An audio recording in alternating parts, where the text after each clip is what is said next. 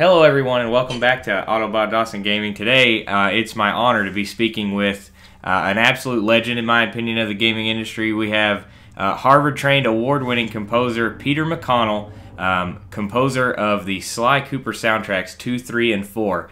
Uh, how you doing, man? I'm doing great. Nice to be here. Awesome, awesome. Well, um, I will just jump right in. Um, I, I wanted to talk. I want to touch on, of course, you know, um, elements from each game, but um, as the viewers can actually see here on what I've chosen for the background, um, Sly Two in particular, um, which was my first uh, my first Sly game. Actually, I sort of played them out of order as a kid, um, but it, it's extremely memorable and nostalgic to me. So some of my early questions are definitely going to focus on Sly Two.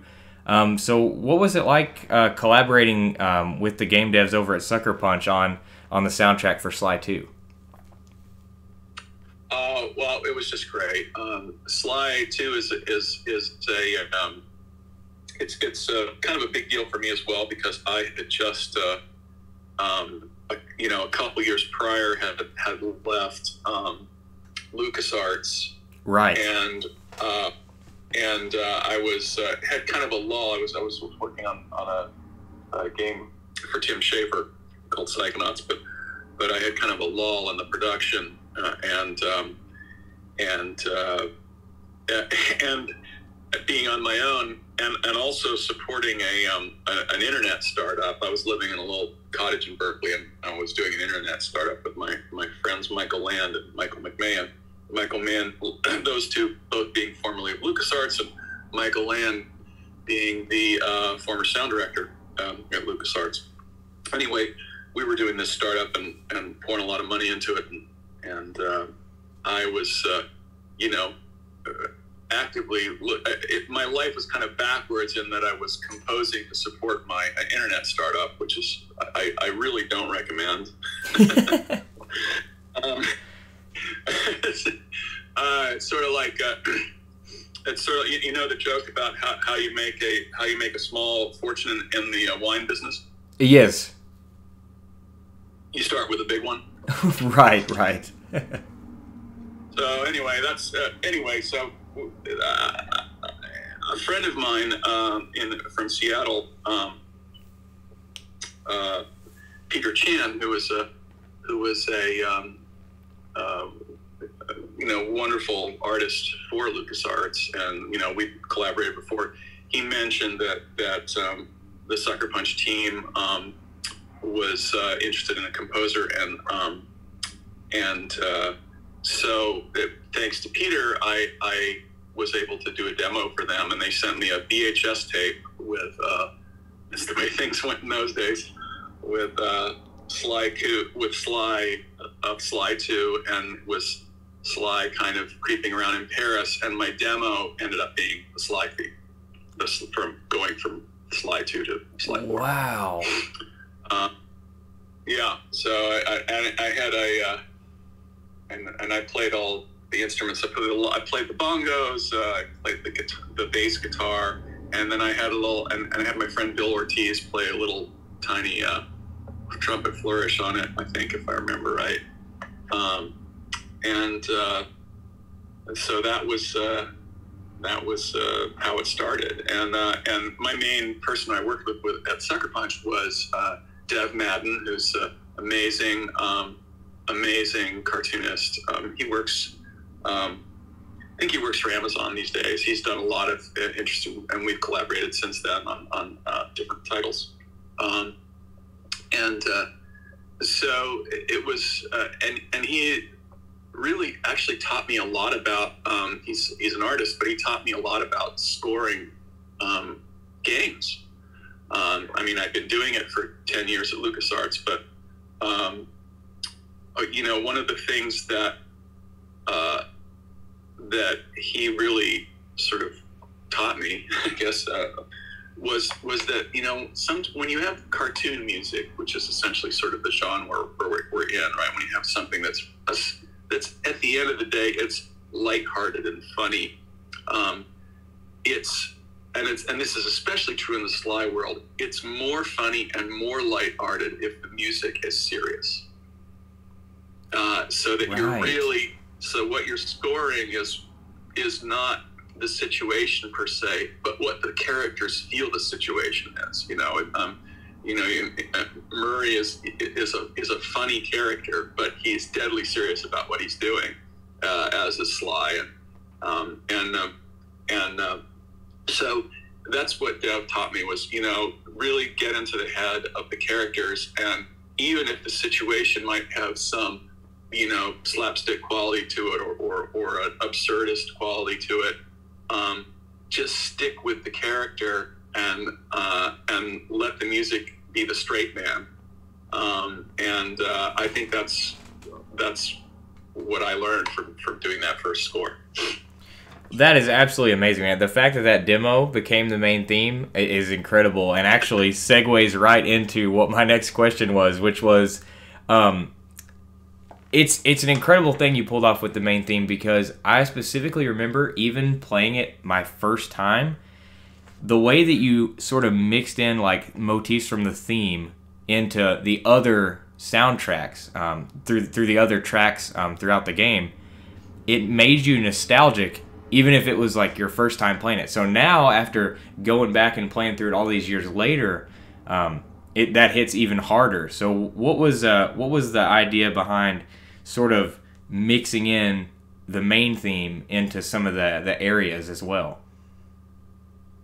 Well, um, you know, I, I think that, that, that goes back to sort of um, the 19th century, and uh, not that I was around then, although I practically was. Um, uh, but uh, it goes to the to, to um, Wagner and um, and uh, people before him, Carl Maria von Weber, uh, German composer, um, the idea of a leitmotif. And the leitmotif is a um, is uh, it's a little bit different from a theme, um, uh, and Wagner's Wagner's idea, sort of how to how to create a unified work, was that the music should constantly be communicating um, through through melodies what is significant about the moment, right? And uh, so, in in the ring cycle, there is a sword theme. You know, the the, the, the sword actually has a theme, and uh, and of course each character has a theme, and and and uh, there's sort of then there's sort of themes of like the Valkyries and so on. But I mean, themes aren't new, but the way Wagner used them was was very specifically these little tiny nuggets, right?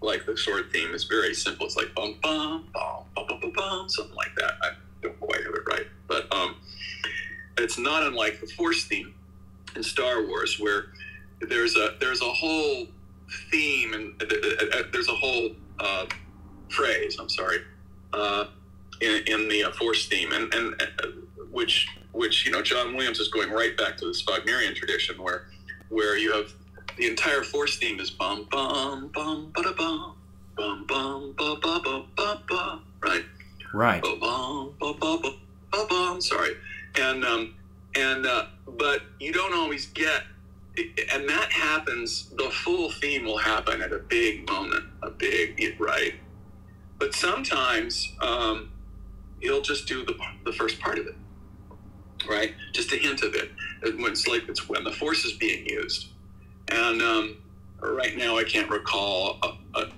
a uh, an exact moment. Um, I think in New Hope he don't play. He doesn't play the whole theme when he's just about when when uh, when he's in the doing the trench run, um, and Obi Wan's voice comes in. Point is that um, this is this idea of using Wagnerian uh, leitmotif is it's baked into film because all of the film composers in the 20th century were great admirers of the operatic works of the 19th century and before because opera was the sort of um, it was the it was the artwork that was the precursor to film it's you know live actors on a stage with music right and uh, so it, it just would only make sense that that you would you would draw on on um, operatic traditions when you're scoring, say, The Big Sleep or um, or um, Key Largo, which I just watched last night with my family. Um, so, and that's a so we in games inherited the film tradition, which is inherited from opera. So now getting that's a really long-winded answer to your question, right? But but um, if you go back to uh, Sly and this little um, dun dun dun dun, right? Uh, all you have to do is that much, and you know you're you're talking about Sly, right? Right. Uh, and and that's so it's a little gist, it's a little moment where it's like if it's Sly's moment, you're going to hear that little that little motif. Um, and, and, all you have to hear is the bum ba ba ba ba. You don't have to hear the whole yum ba ba ba ba ba. Right? Really, that but saving the full theme only for really really significant moments, like you know a big turn in the usually pretty much the end of the game. Um, so it's like a title piece, right? But little fragments of it will play just as just to remind you who who who's important in the moment, and also to bind the whole score together thematically. So that I mean, you don't want to just write a bunch of random melodies. First of all, it's hard to write good melodies. So you, you you just want to pick a few and then stick with them. And secondly, if they are good, you want to hear them over and over again anyway. So um, it's it, it all fits together into a, a, kind of a picture where where um, you, you know uh, the the game, the vibe of the game, what moment you're in, it's all sort of wrapped up in in those little fragments that keep coming back. And it makes the music more fun to write more fun to play more fun to listen to. And you know just better art because it um, if i can use the term um, because it, uh, it, it adds some depth, right? To, it's not just you don't just have action music; you have action music that happens to have you know Doctor M's music in it, right? Right, exactly. So, well, that, yeah. I I love that man. It, that definitely the cohesion that you're talking about comes through crystal clear. Um, you know, it's it's part of what makes the game so iconic is is those uh, those cohesive soundtracks. And speaking of that, um, so Dimitri's nightclub, which of course is like one of the first areas we we head to in Sly Two. Um, it's such an electric and catchy track that I think has stuck with more than just me. I think a lot of people uh, remember that one and still talk about that one today. Um, it just felt like um, it, it, captured the uh, the feel of, of the nightclub and of Dimitri perfectly. I mean, I remember like even um, there's like a mission where you you sort of sneak in through the window and uh, there's like the janitor rats and and uh, they won't even attack you if you don't attack them. So I remember like sitting there, um, do it during that platforming section and just like staying in that room literally for like an hour as a kid, just like because I didn't want to stop listening to the to the track. Uh, so what can you tell me about that Dimitri track, man, of that nightclub? Um, you know, what what all did you know uh, about the character going into composing that track, and, and what was sort of the process, and were you happy with the outcome?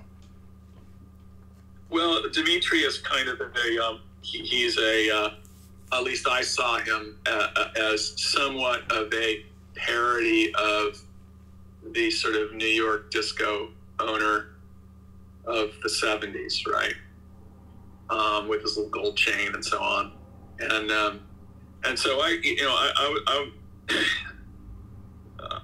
I'll, I'll just say it. I was born in 1960, so uh, I remember a lot of stuff from a long time ago. and um, and uh, unfortunately for me, I, so I, I, fortunately for me, my introduction to pop music after coming back from Europe um, to live in uh, the U.S. Um, uh, my dad studied theology in uh, in uh, Switzerland, and that's those are my earliest memories. And then we came to uh, Kentucky, Eastern Kentucky, and so, but but uh, fortunately for me, uh, we came to Kentucky the same year the Beatles um, came to the U.S. And my introduction to pop music was really some of the coolest pop music that's been, which is the music from roughly 1964 to roughly 1974. Um, and but, unfor- but unfortunately for me, when I by the time I was in high school, it was the 70s.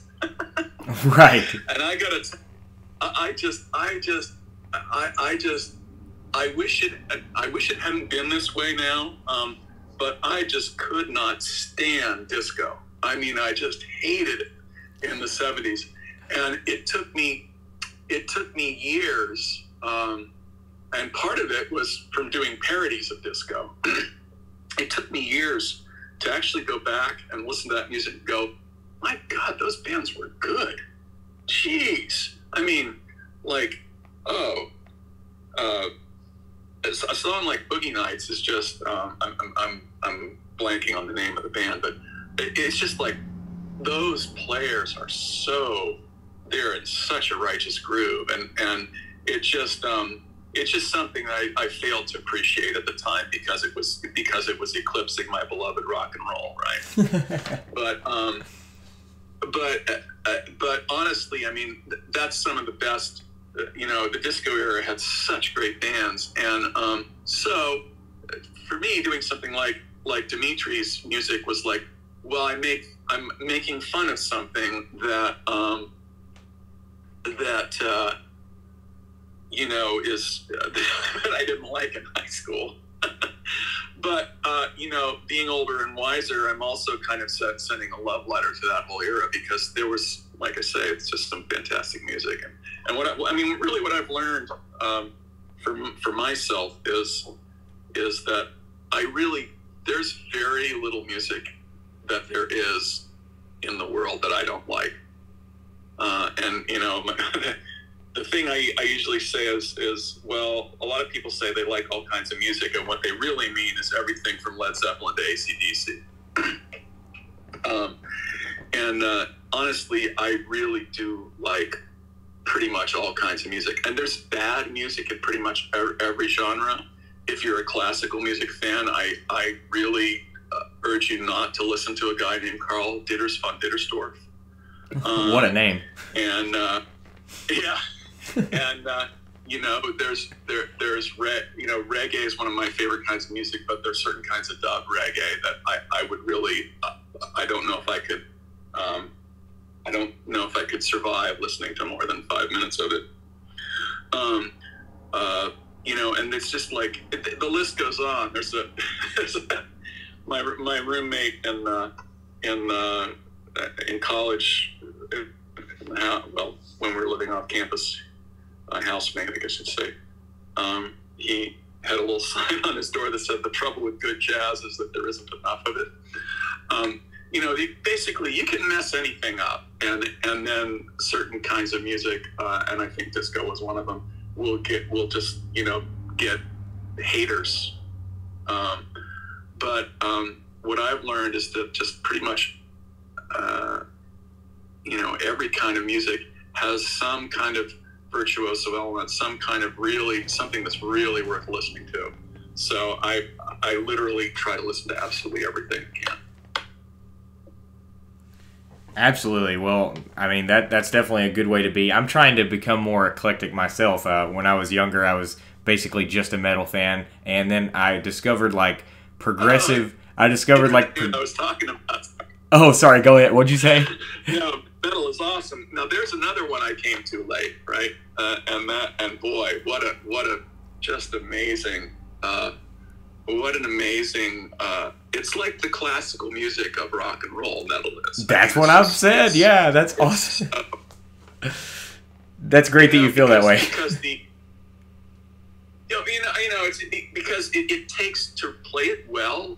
It takes such incredible chops and incredible sort of musical knowledge to really actually play metal um, uh, the way it should be played.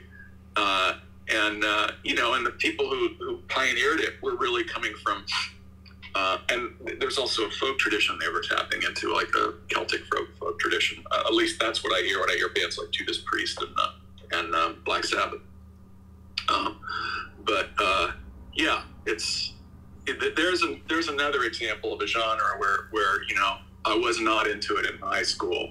Um, although I kind of I, I, think I was selectively into some of the tunes in high school, but but basically it took me a while to realize, wait a minute, you know, this is really um, this has really got some stuff going on. Oh yeah, definitely. Yeah, like once I got into like the more progressive side of it, I started that ended up showing me like folk music and all kinds of different things. So I'm trying to to be more eclectic myself. Um, so and then the the reason I have this question positioned right after the Dimitri one is honestly to complement the like insane variety that you've managed to work into this soundtrack beautifully. Um, which it goes hand in hand with what we're talking about with different genres right here. Because I then one of the other pieces that really stuck with me was in uh, the He Who Tames the Iron Horse, the the Canada level, um, episode six. It's like this rustic acoustic guitar uh, driven composition um, that just is like a complete um, contrast to the Dimitri soundtrack and matches the the you know the Canada area, the snowy sort of peaceful country setting, um, just as well as Dimitri's disco theme matches the bustling Paris setting. So, what was your approach to sort of peel back the layers and do that like nice, warm, rustic track for for that part? Well, um, so that's that's definitely the Canada music thanks for that, by the way. That's actually my favorite Sly music. Period. Is is that Canada music? Oh, um, really? Uh, just from a just from a vibe. Yeah. Um. Uh. I mean, well, I mean, all all my music's my favorite music, and the, the stuff I it, uh, in, in Nashville uh, for Sly Four is, is I, I still really like that a lot. Um. Uh, and um, I think it's some of my best stuff, but but just sort of as as, as kind of a how would I say it, kind of a um, uh, sentimental or personal level that music because um, uh, I, I, I really I was classically trained on the violin and um, in high school I started picking up other instruments and typically five string banjo. Um, um, excuse the long uh, what's about to be a long departure here, um, and uh, it was uh, because the movie Deliverance had just come out, and I thought banjos were cool. And also, when I was a little kid in Kentucky, um, uh, you could you could turn on the TV and you could get about two stations in Eastern Kentucky in those days, and one of them was a West Virginia station that had a half-hour show with Flatt and Scruggs on it. Um, and uh, I assume you know who Flatt and Scruggs are, right? I, I honestly don't, but it does sound familiar to me. Oh I, am ashamed as a fellow Kentuckian. I'm ashamed.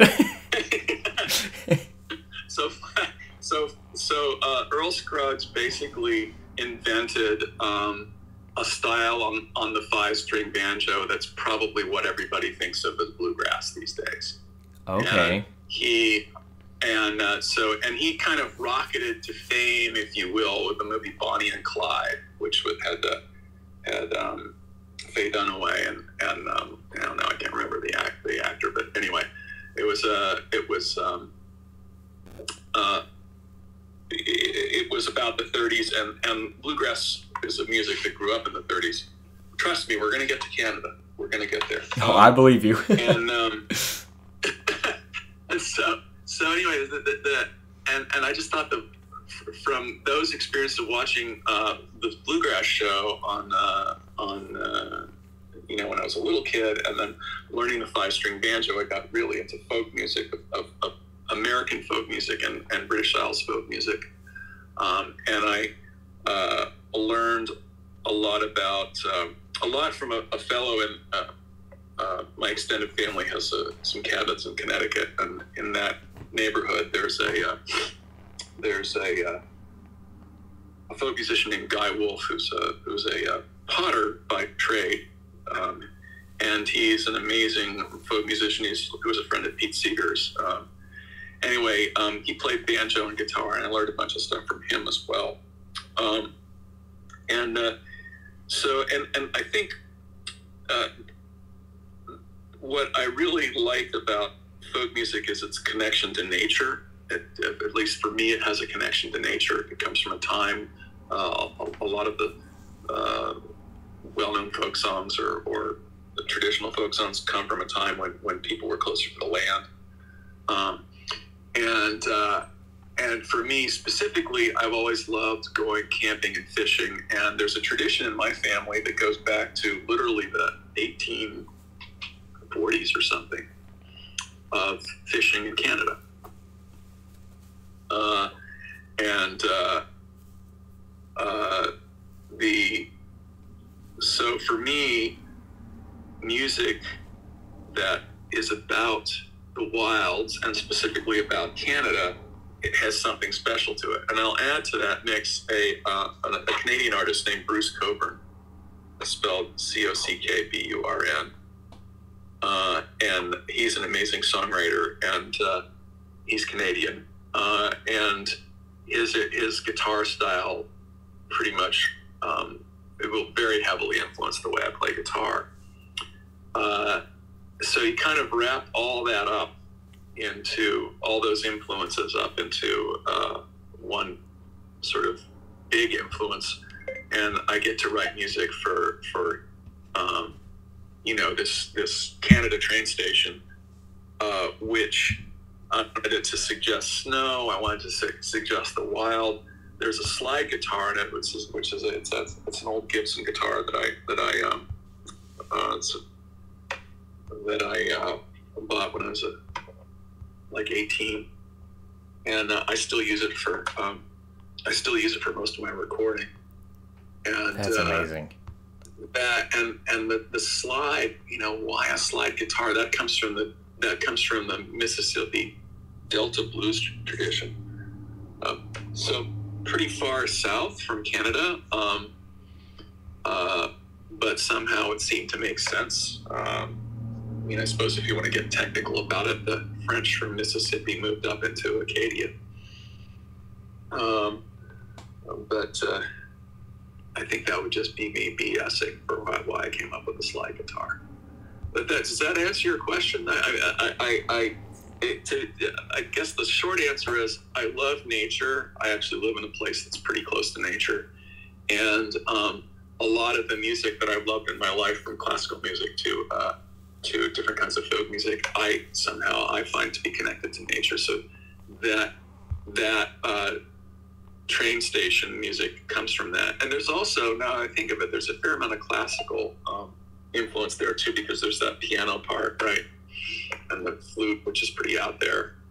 And um, I mean, the very first music that I listened to uh, when I was a kid that I remember hearing was Mozart in, in Basel, Switzerland. Um, and so I got this European tradition too. So, I, oh yeah, it a hundred. You know what I would say is, is oh, go ahead. Oh no, I was gonna. Uh, going on for. No, you're good. I, I, was I was gonna say like you yeah that hundred percent like what you were saying earlier hundred percent answers the question. But please go ahead. We we are here to hear your thoughts.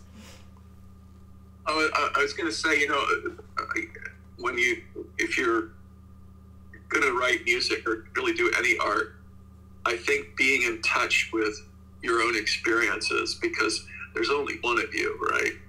And uh, I was lucky enough to um, to well, lucky in some ways, uh, you'd say, to live in a lot of places as a kid. So I lived in in, uh, in Switzerland and Kentucky and Kansas and New Jersey, and then uh, a lot of years in Boston, and then a whole ton of years out here in California.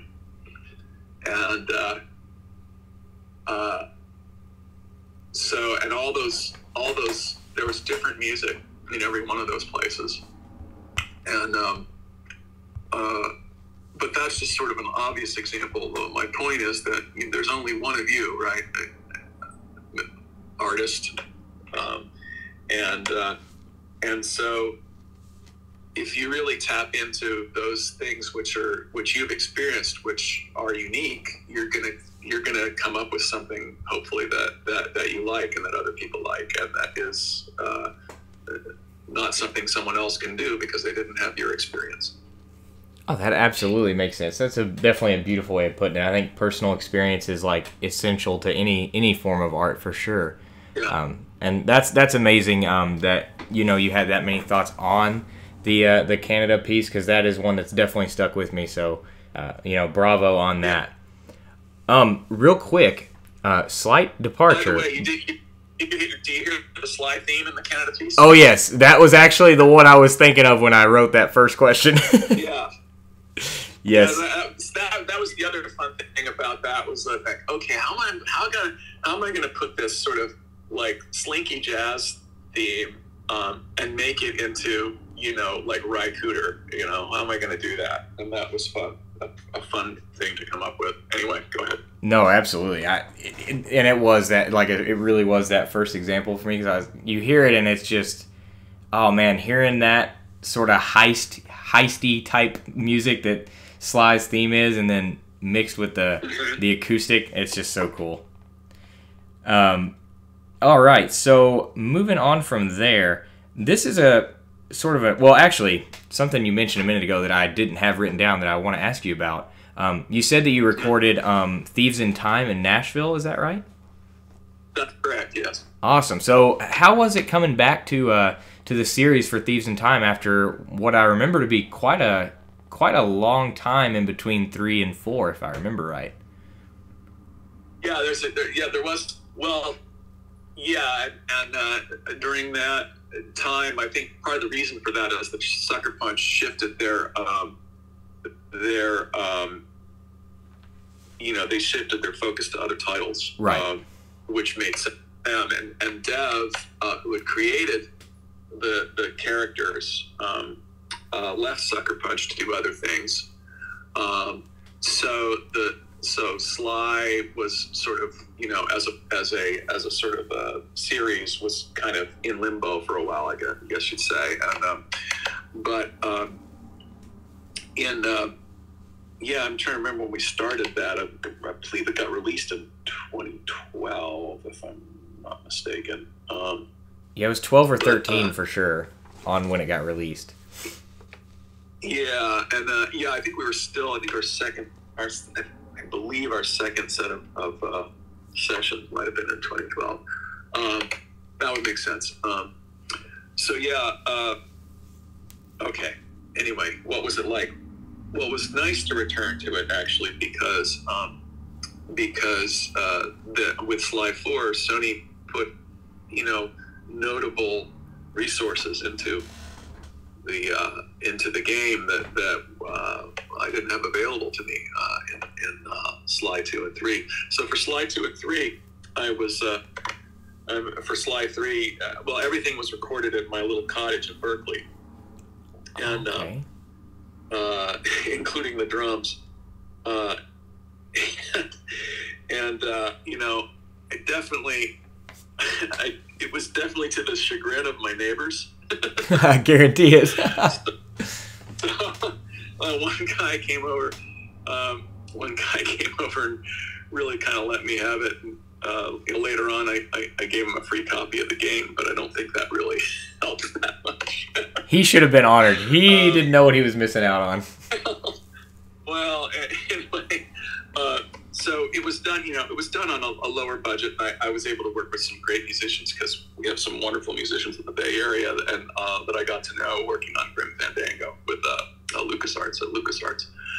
Um, uh, people like Bill Ortiz, who's who's um, who is uh, Santana's trumpet player, and, and um, a guy named Carl Bombarding on, on drums, who's no longer with us.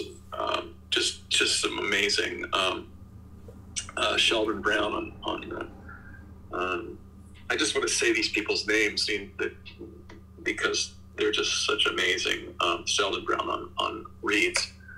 Uh, they're just such amazing players. And really, one of the best things about my job is working with um, world class musicians because instrumental musician. Uh, I, I'm just lucky enough to write notes that, that world class musicians will actually play and uh, and uh, so for Sly Four, um, we were able to do re- record two over two hours of music um, and uh, two sets of two week long sets of sessions in Nashville, and uh, uh, and conducted by uh, amazing conductor from LA. Uh, uh, and uh, his name's Tim Davies. I, I, think it's okay for me to give his name. um, and um, just you know this roster of players um, uh, that are just uh, fantastic. For example, um, a guy named Jeff Coffin, who plays um, reeds for Dave Matthews. Um, Jeff is I, I've worked with him a number of times since then.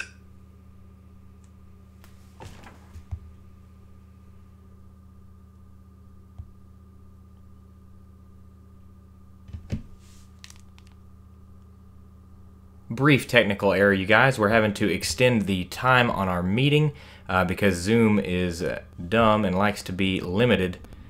So let me just get that back in real quick.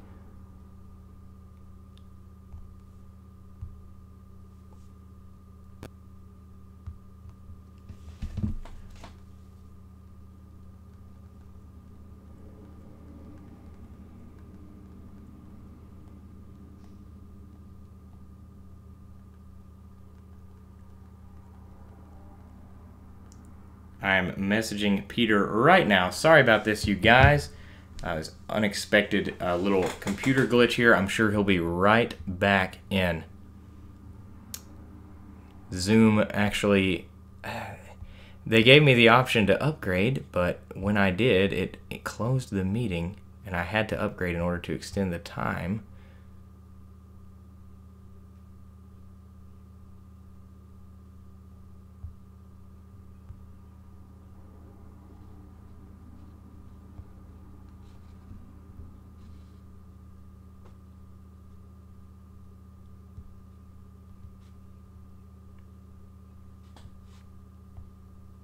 Yep, he is on his way back.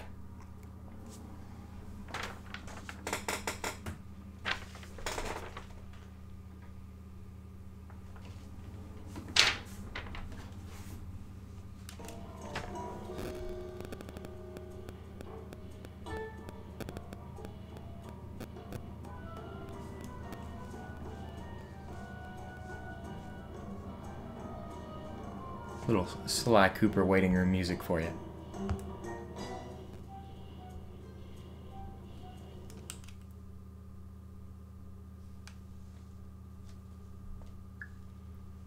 Hello, Hello. sorry about that, man. I apparently Zoom oh, no Zoom timed me out, so I just put on. Uh, I get on get for running on at the mouth. No, you're good. I just put on uh, some of the soundtrack in the background while we were waiting, so it was fine. so, so I don't know where where what the last thing you heard me say was. Yes, uh, the last thing I heard you talking about was um, you were talking about how obviously you were recording in Nashville. Um, you listed the names of some very talented people. You talked about the conductor that you worked with, um, and I think that was sort of where we where we landed. You talked about how you had a bigger budget as well. Yeah, yeah. Did I did I mention Jeff Coffin, the reed player? Mm, yes, yes, you did. Yeah, he's fantastic. I just uh, he was he got nominated for a Grammy actually uh, this year. Oh, that's um, amazing. Uh, yeah, uh, no, it just it, it just um, these these uh, you know players we're very lucky you know to have players like this to work with and and uh, and uh, lucky in the U.S. because we've got this jazz tradition that's so powerful in it and and I love um, I love jazz and classical music as well as rock and roll. So being able to work with people who are really steeped in, in those traditions is, is something that uh, is just a real uh, a real joy for me. Um, so yeah, the, in, in Nashville, we you know we stayed there for we had two sessions, and there was a, a, a you know a team from Sony there. Um, my good friend Clint Bajakian from from uh, LucasArts uh, days was one of them, and checked out. The audio director was there, um, and um, several uh, Jonathan. Anyway, a bunch of folks were there. Really uh, fantastic engineers uh, from Sony. They have just a crack audio team, and uh, so we were able to record um, a small orchestra um, in a in uh, a place called Ocean Way Studios in, in Nashville, and uh, a number of sort of reed and brass players in different groups as well. Uh, and it was just super, super fun. Well, really one of the best um, uh, sort of recording experiences I've had, um, and I've got I've gotten to work. I still work. Um, uh, I still work with uh, Nashville folks uh, to this day, uh, along with other places. Awesome, man. That's good to hear. And I think Thieves in Time did have a absolutely stellar soundtrack as well. Um, so you know, if if you're an older fan of the series and you haven't checked out Thieves in Time because maybe you um, were getting older at that time or you fell out of it, trust me, it, it holds up just like the others in my opinion. Go check it out. Um, and from there, I have three final questions for you. Um. So one of them um, is so when I originally wrote this question, it was before the Mario movie came out. Now that the Mario movies came out, it sort of changed it a little bit. Um, with the like wild success of that, I think everybody in the gaming community is kind of thinking like, okay, this is probably gonna, you know, we had the superhero craze, we're probably gonna have the video game craze at this point. Um, and seeing as like Sly was almost got a movie. Uh, you know, we had a trailer, a teaser trailer, and everything before it was canceled. Um. Do you think, like, um, you know, do you think there's ever a chance we could ever see Sly in movie? And more importantly, if we did, um, you know, it would be a shame if they got anyone other than you to do the soundtrack. Would you do the soundtrack for a Sly Cooper movie? I agree with you. It would be a shame. yes, it would. I, you know, I, I, I, I, certainly haven't heard anything about it. Um, I think uh, I was, you know, uh, it, it, seems to me that that uh, uh, you know they, they, they, didn't do anything for the 20th anniversary of Sly, so uh, who knows what what um, what Sony's plans are, and you know, making any kind of a um, you know that investing serious resources into into a, a, property is, you know, it's it's it's it's a big decision that the companies make, and um, and there's so many factors besides the fact that they want to do it right. Uh, they're you know, can they find the right developer? Um, uh, do they think that what do, do they think that the, that there's enough people who actually play the game um, or go see the movie for whatever reasons. And then also, what what other things they have on their docket that they need to put their resources into? You know, so I I don't have I'm a big boy and I don't I don't like get mad because some company decides not to do something that I wish they would do. You know, it's it's a it's a tough world out there. Um, so you know, I, the answer to your question is I don't know. Um, obviously, if I did, I wouldn't be able to say anyway. Um, you know, until and unless they would announce. Oh, right. Um, and, uh, but but uh, uh, you know, I I think um, yeah, I, I mean, I sure hope that um, I sure hope that they do more movies based on games. I mean, they've done they have done Uncharted. That's another one. I just watched that last night, actually. Um, and uh, and the Super Mario movie, and there's and and there's probably going to be more. Um, and it is, I will say, uh, sometimes when they decide to do uh, something in Hollywood, they'll use different uh, a, a, different roster of people than they used for the game. Uh, so uh, it's you know for for whatever reasons, you know it's people they're used to working with. Um, but um, if I had the opportunity to score uh, a Sly movie, I think I would do a hell of a good job. So, oh yeah, absolutely. And listen, if if in this if in this dream scenario the movie ever did happen, or for that matter, a Sly Five game happened, and for some idiotic reason they were thinking about using someone other than you, using someone other than Kevin Miller for Sly Cooper's voice, anything like that, you know, the community is definitely going to riot about it. So they'll they'll probably end up changing yeah. their minds. and, and yeah, that's it. You know, that's that, I think it's great that the uh, you know fans get involved like that. So uh, uh, yeah, well, like I said, who knows? Um, and uh, I I just uh, I I do hope they do. In general, I hope they do more movies based on games, though, because uh, I think it is. I think you're right that it's it's a it's part of people's experience that um, I mean, that one thing that's different about a game uh, from other types of entertainment is the amount of time you spend on it. And so, you know, I probably one of the most satisfying things about my job, right, uh, is is that I'll get some uh, email from from somebody who's like, you know, I played these games, you know, with my dad or whatever, uh, when you know, growing up, and it's and it's just this fun part of my childhood, and you know, and the reason for that is is that uh, they spent so much time on it, and and the all the work that went into that game, uh, including the music, uh, really translated in some into hopefully into someone's positive experience, right? And so there are a lot of folks like that who, who grew up with games who who um, for them it's like uh, it's like a friend, an old friend. You know, Sly Sly's like an old friend for people who played Sly. Oh yes. And uh, so I, I think uh, that is a that right there is a reason to, to turn it into a movie because uh, uh, uh or any game that, that, that people are you know really grew up with because uh, because it taps into their experience and you know that's that's what you want to do when you're making a, when you're making a film.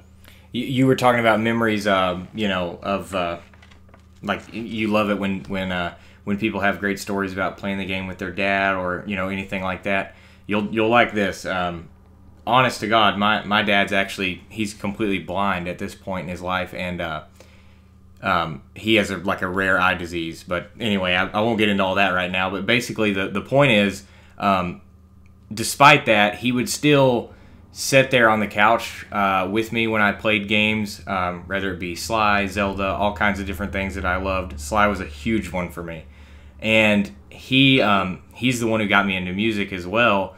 And I kid you not, I mean, he actually always pointed out when we were playing Sly, like, oh, we're playing Sly, like, you know, I can tell from the soundtrack. He loves the Sly soundtrack, and um, you oh, know, yeah. So it, it, it, you know, it, it it resonated with him enough to be able to identify like what game I was playing without me even having to uh, you know explain to him what was going on. And uh, so it it's great memories for me too. Um, you know the you just can't replace you just can't replace those those early experiences.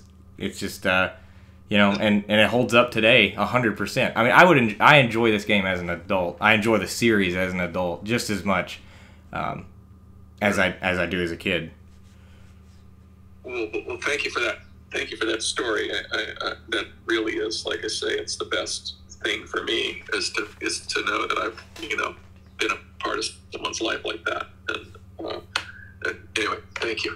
yeah, no problem, man. And that that brings me to my last uh, sort of. It's uh, probably as much of a statement as it is a question, but uh, my my uh, my my closing comment here. Um, you know, I was looking through. I wanted to make sure that I had all my homework in line and everything before uh, getting the chance to talk to you. And um, I noticed that um, among a lot of different awards, there was a huge amount on there um, stuff for Psychonauts and Sly and all kinds of different projects you've been a part of. Um, but you won the 2005 Game Audio Network Guild Award um, for Best Interactive Score for Sly 2. Um, again, a, one of just a huge list of, of awards. And I'm sure that that is um, really awesome and, and you know meaningful to you. But um, more so than that, you know, at the end of the day, with all the awards, all the accolades, and everything, what do you actually want your legacy to be? Like, what do you want your, um, you know, mark on music and the gaming industry to be? Um, you know, looking back. Um, well, wow, that's a great question. Um, I think on one level, on sort of a a uh, artist level, I, would like to be thought of someone who put a you know maybe a little more depth into into a piece of music than than than uh, one might normally expect. Because um, I do take uh, what I do really seriously, uh, no, no, matter what I'm, you know, no matter what I'm scoring.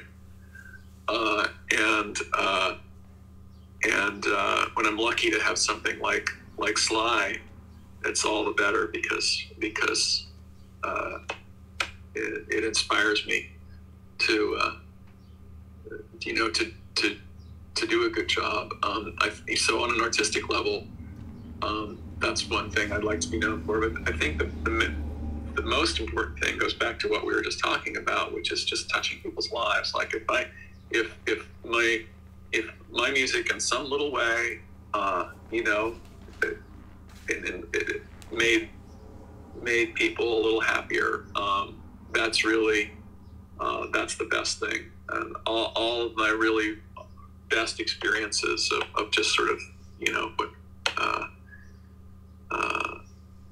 how can you say it uh, moments of job satisfaction are are um, when someone was actually touched by music.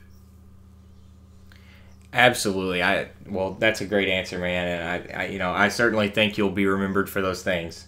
Uh, everyone, this has been Peter McConnell, uh, an absolute legend of the gaming industry. And seriously, if at this point uh, you've stumbled upon this video and you haven't played the Sly Cooper series or listened to the Sly Cooper soundtrack, go do that. Um, these games are absolute uh, gems. You will not regret playing them. And I think that the soundtrack is totally legendary. In my honest opinion, it it holds up there with the very best. I mean, it literally gives like the Ocarina of Time uh, soundtrack a run for its money, and I think those are you know I, I speak of the the Sly Cooper soundtrack and the Ocarina of Time soundtrack is like two of the very best um, you know gaming soundtracks anywhere. So a job well done from you, sir, and uh, you definitely deserve uh, the career you've had and more. So thank you so much for uh, just taking the time to talk to me. Seriously, childhood dream come true.